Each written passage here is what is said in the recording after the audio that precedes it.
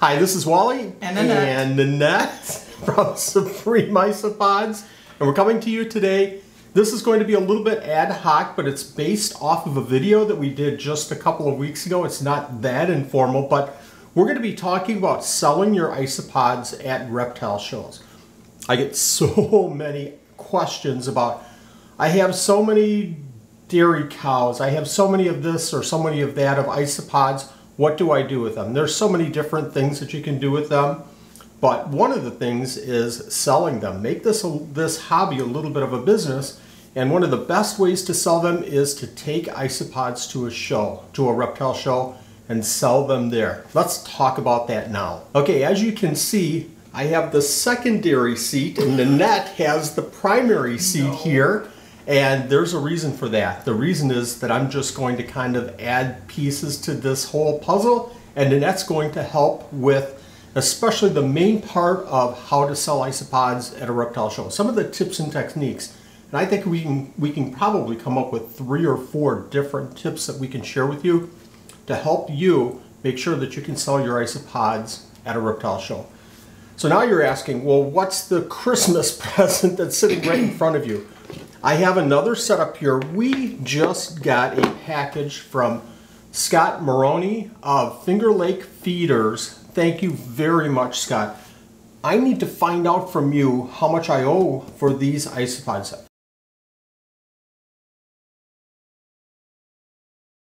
So while we talk about these tips, we'll go ahead and open this box. Why don't you go ahead and cut it open, Nanette, because you know what happens if I get the knife in my hand. Mm-hmm. What happens? Somebody gets hurt. And it's probably going to be me. It's probably going to be me that gets hurt. be me. Maybe I'll wait until after Nanette's done with the knife to start having uh, some thoughts on this. Okay, where's that meme? One hour later. This is different. This is like a Christmas box. It's so well packaged. You know, if this is t-shirts or, or underwear or something from Amazon, we might be redoing this whole video. Well done, Scott. Well done. Okay, let's keep this to the side. Let's, we're gonna open the, what did you, you just tapped them like, I tapped. you don't tap a fish tank to say, hi fishies, hi No, but I- fishies. You can tap that because you're getting the fuzzies down. Okay, now that the fuzzies are down, how about a tip for our, our viewers here that came to find out how to sell their isopods at a reptile show? What's one of the key tips that you can think of? Well, make sure you're bringing in healthy animals. Excellent, excellent idea. So, um, what makes a healthy isopod? An animal that's moving around a lot in the tank. It looks nice and big. It's happy. I don't know. Perfect. Really, really want to give customers your healthiest animals that you possibly can. The healthiest animals you can. So, Well fed, well hydrated. well fed, well hydrated. We talked about, and, and I'll, I'll share right here, or right here, a video that we did about three weeks ago. Somewhere up here, we did a video, things that you want to take to a reptile show for your isopods. And, and if you haven't seen that yet, watch this video, go to that video and watch that. Great video. Okay, let's let's take another. Uh, before we do, we're just all over the place, folks. Today, I have a container already set up for these isopods that we just got in. Ventilation, sphagnum moss, leaves, everything set. I set this container up about four weeks ago-ish. Springtails are going to town. This is a well-established enclosure. And it wasn't for this specific shipment because Scott told me like two or three days ago it was coming in. So let's talk about another tip for uh, ice, selling isopods at reptile shows. Um, having pictures. Having pictures, Right. having pictures. So here you have a whole show and you have your table full of deli cups. You have, let's say, hundreds and hundreds, well, maybe not hundreds and hundreds, lots and lots of deli cups set up on your table. And maybe you even put the name of the uh, species on there. Maybe you put Giant Canyon. Maybe you put a price, but you don't have pictures. Picture yourself. Wow, see that segue I just did there?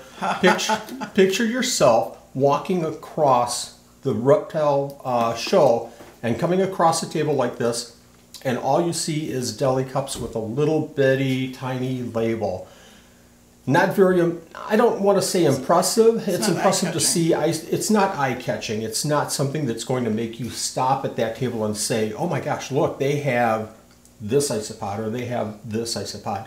So you want to have some kind of a an indication of what those isopods are. What we have done recently, and we talked about this again in the video that I just shared, we went over to a QR code. So we have a sign with the isopod's name and we have a QR code and somebody can take their smartphone. I was reaching for yours so that I could demonstrate. But anyways, I think people will get it. You take your smartphone, put it up to the QR code and right away it comes up with our website and that specific isopod. So you see a picture of we used to stop. I used to stop the videos when Gus would walk around. I'm just going to let it go because we he's just all over the place. Someday we'll show Gus on on one of these videos. So this QR code sign allows people to scan and see the pictures and also get a feel for you know other information on that isopod because we have descriptions on and care information on all of these isopods. Uh, let's talk about these animals. The giant Spanish isopod. It's Porcellio Nicklesi, and I am so psyched about getting these isopods. And Nanette's opening opening the container, and I think Scott sent at least a dozen. He might have sent way more than that. These aren't an easy isopod, and Scott has them well, well packaged with sphagnum moss here. So while you're doing that, you have another tip for our viewers on what you can do with your reptile shows to help you sell isopods? Um, I always volunteer to open up the container so they can actually see the isopod and then talk about the actual isopod itself. Point out the ones I like the best. And what does that do? Why, why do you do that? Well, it kind of gets them interested in what's in the container. It kind of gets them interested to see what an isopod is because a lot of people don't even know what an isopod is. Great and they point. look at you kind of like you're mental when you say roly poly or pill bug. So when you show them how cool they look, they get more interested. I sold a lot more this last time that way. And I'm going to throw a key word out there engage the customers. Make sure that you absolutely engage the customers and get them uh, talking about these isopods so that you can share your passion about this hobby. What's your What's your next tip, Nanette? Well, this is tip number four. I would say it would be talking about the care. How are they going to keep them when they get home with them? What are they going to put in the container with them? Feeding them. And I kind of go over all that with them. I show them the sample one that we have for sale so that they kind of know what all to put in. And why in the world would you want to do that? I'm sitting at a table. I have an isopod. Hey, uh, how much were those isopods? Uh, Twenty bucks. Okay, here you go. Thank you for the twenty dollars. Next customer. I'm in the mode to sell animals at a reptile show. Why in the world would I want to take the time to stop and talk about care of animals at a reptile show? because people need to be informed about how to take care of them the correct way so that they don't just take it home and keep it in that little container that we brought it in and keep feeding that container. It's the well-being of the animal, the health of the animal. You wouldn't- You wouldn't sell a crested gecko like that, and you wouldn't just say, here, good luck. All of them, all of them co- go off the table, and I don't talk about care whatsoever. No, So it's the Nanette- education you need to know how to take care of the animal. So I think Nanette's having a hard time with my question because she is the one. So at shows, Nanette does the most of the time. Nanette does the isopod sales, and I cover all of the weirdo geckos. But I think she's having a hard time with answering that because I'm the one that talks people's ears off. I'm the one that eventually gets to the point of, oh yeah, I have to make a sale here and and and sell you your animal. But I'll talk care because I want to make sure that that person is so informed when they get home, they know exactly what to do with these animals. And I want to make sure that their care is absolutely 100% right on. So spend the time. That way you help ensure that that customer is going to be satisfied and eventually, hopefully, that customer is going to come back to you and look for more isopods. It's a positive experience. It's a positive experience. You want 110% positive customer response from the product that you're presenting. Let's go ahead and put these away because they've been sitting out with all the editing I've done here. They've been sitting out for three hours.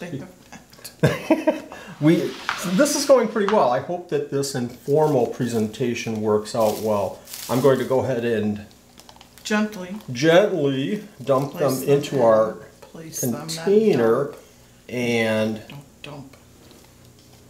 I never Gonna- dump. I'm gentle. them moving around. They look Oh, they look great. Giant Spanish, I believe, if I remember right. Okay. Can you think of any other tips, Nanette, that we can share with our viewers? Ask questions. If you aren't sure, ask. Don't ever um, feel like you don't know and that you're wrong by not knowing. I have to refer to you multiple times in a show. I ask you if this one is okay and the situation. So ask as many questions as you can and don't be afraid to to try to get more information on them and enjoy them. You, but you, see, here's the thing. You ask questions like, what's the differ- difference between uh, Armadillidium, Klugii Montenegro, Montenegro, and Dubrovnik? Things like that. You ask very specific questions because you haven't had, you know, the, the amount of time doing the research and everything. But I think you do a really, really, really super job of if somebody says, I just want an isopod for my arid enclosure. I just want an isopod for my super moist enclosure. I, I- I need an isopod that doesn't stay burrowed all the time. I want to see some activity in the enclosure. So be informed, do your research. You are going to get tons and tons and tons of questions like that, and you're going to get a lot of uh, cleanup crew type of questions. Be prepared for that. Mm-hmm. Know the animals that they're keeping. Leopard geckos, crested geckos, bearded dragons, snakes. Know the animals and the best isopod for those situations. Be prepared, do your research, ask questions. Shoot me a question if you want to, and I'll help you answer that question in preparation for being ready for a customer at a show. You're smiling like you you've been there before. Anything else? No, I think you covered it all. Well, I don't think I covered it all because I, you know, we're gonna finish this video just like every single video, and I'm gonna start editing, and I'm gonna go, oh my gosh, I should have talked about this. I should have talked about Then you that. just do an insert. If I did that, I wouldn't put these videos out for three or four weeks. Um, And we're I- not retaping this. We're not re re taping. We're under the time. Then that's back into the 70s with taping. We're not re recording these. I say that all the time. Um, so I hope these tips have helped you. Again, watch this video right here, right here, because it's very informative and I think that that will play very well with this video. Thank you very much for watching. Enjoy your isopods. Uh, Scott sent, what are you looking at? I, I can't read. It says Brandon Perez. Well, maybe we just screwed the whole video up. It says dealer order Scott plus five, but I don't know. We better check outside. Can you just make a quick check outside? This is next to air, so that was. I think it's Scott. No. I'm sorry, I just have to. No, we'll- we'll check that out. Name and